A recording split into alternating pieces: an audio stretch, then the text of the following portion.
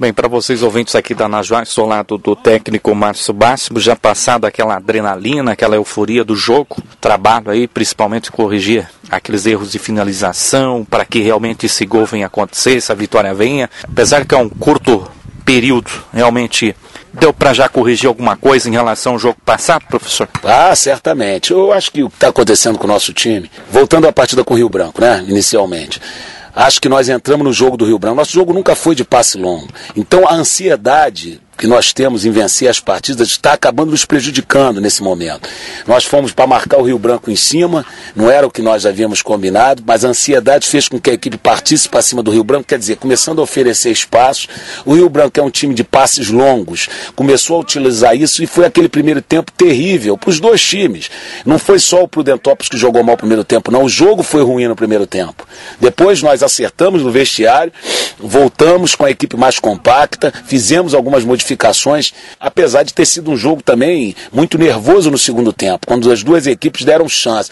Mas o que mais me deixou satisfeito foi o poder de reação da equipe, porque nós, depois de perdermos um gol, praticamente feito, quando o jogo estava 1 a 1 a equipe não se abateu, tomou o segundo e foi buscar a superação no empate.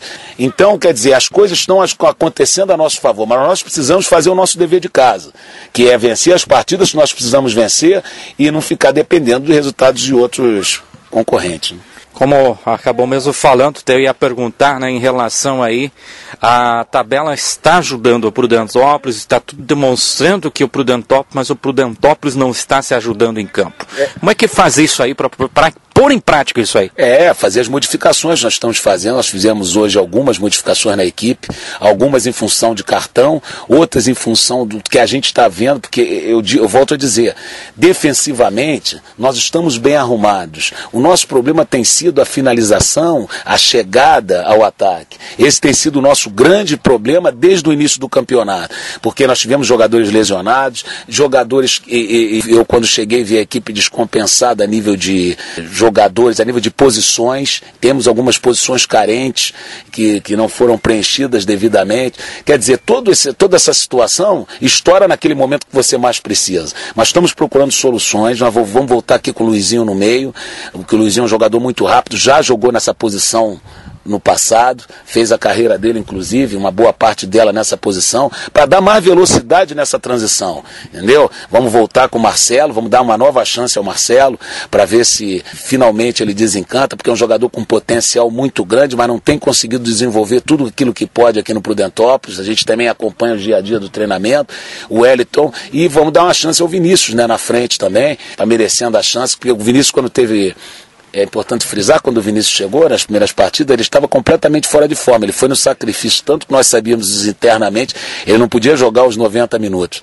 Então nós vamos agora tentar essas modificações para dar um poder maior de ofensividade à equipe. E não é nem que o Sérgio, eu acho que você colocar a responsabilidade dos gols só em cima do número 9, eu acho que não é inteligente. Eu acho que todos, principalmente os meias, atacantes, os pontas, os, enfim, os os meias que chegam, todos têm a responsabilidade de fazer. Eu acho que é uma questão até de uma pressão extra, que as coisas não estão acontecendo, porque o Sérgio é muito bom jogador, vai nos ajudar ainda, e só que acho que nesse momento é melhor a gente, até por uma questão psicológica, psicológica, porque a bola não está entrando, dar dá, dá uma, uma oportunidade para o Vinícius, que tem treinado bem, tem treinado bem, e agora vai demonstrar se, se, se, vai, se vai ter condições de segurar essa vaga a pressão realmente da torcida, a cobrança também, é sempre dos atacantes. Né? Não acontece o gol, o time precisa da vitória. Então sempre vai acontecer essa cobrança e acaba sobrando sempre para quem? Principalmente por centroavante, que também, né, às vezes acaba errando aqueles golzinhos também e acaba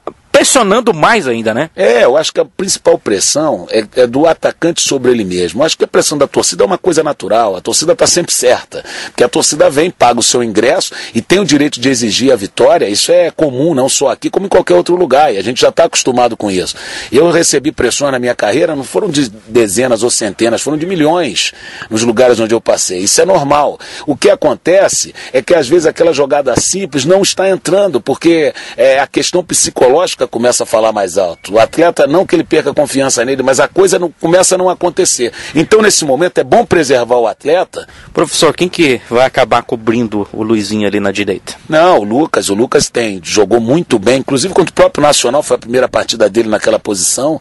Jogou muito bem ali, né, contra o Nacional lá em Rolândia. E ele jogou nessa posição anteriormente. O Lucas é um jogador muito importante, porque ele joga em praticamente todas as posições. A equipe já deu para definir, está para enfrentar ah, com essas mudanças aí no meio que foi citado? Sim, sim, nós vamos de Doni, Lucas, é, Lugano, Cal e Biro, é, Robenval, voltando à sua posição de origem, porque o base jogou muito tempo no Atlético Paranense, inclusive de volante, Robenval, Alex, Luizinho e Marcelo, e na frente Wellington e Vinícius. Muito bem, esse é o Márcio Máximo aí para a Rádio Najuá, repórter Hélio Corrute. Intervalo da notícia. Aqui as informações têm credibilidade e imparcialidade. Anuncie aqui seja nosso parceiro.